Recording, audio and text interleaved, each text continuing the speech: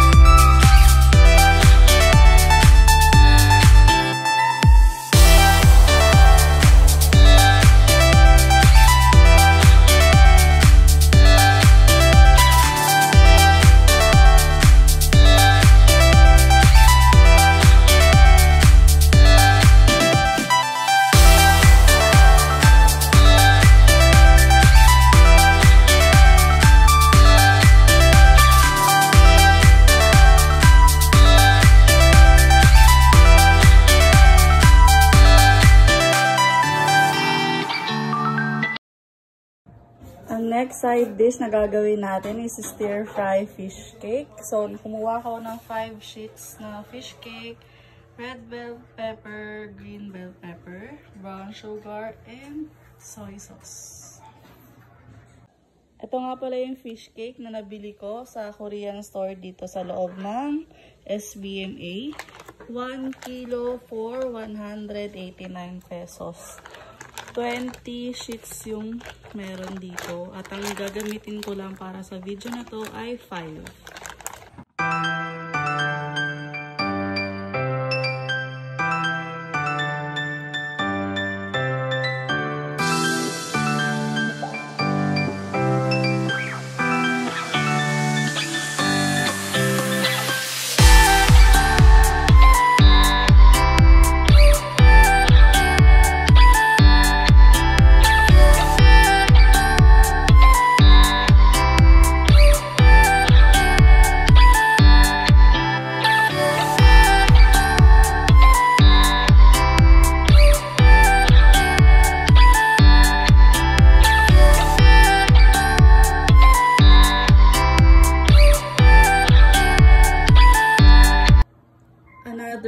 Side dish is yung favorite ko, baby potato. So, ilalaga lang natin yung patatas sa asukal at toyo. Meron kasamang garlic and seasoning.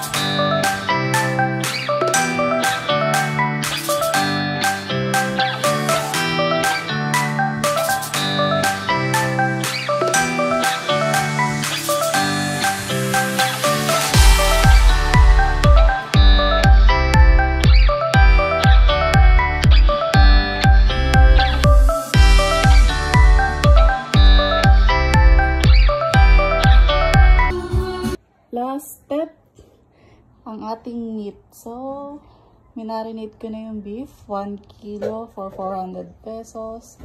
And pork, 1 kilo for 300 pesos.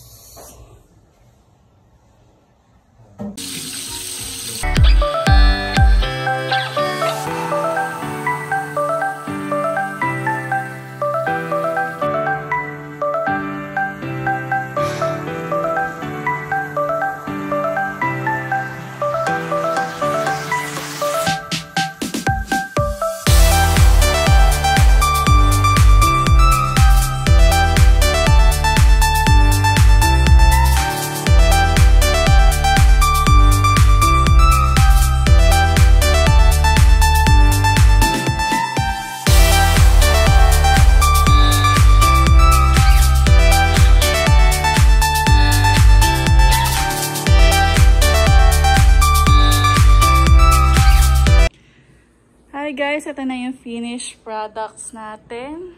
Hindi na magpapakita kasi sobrang haggard ko na, pati ako nagmantika na.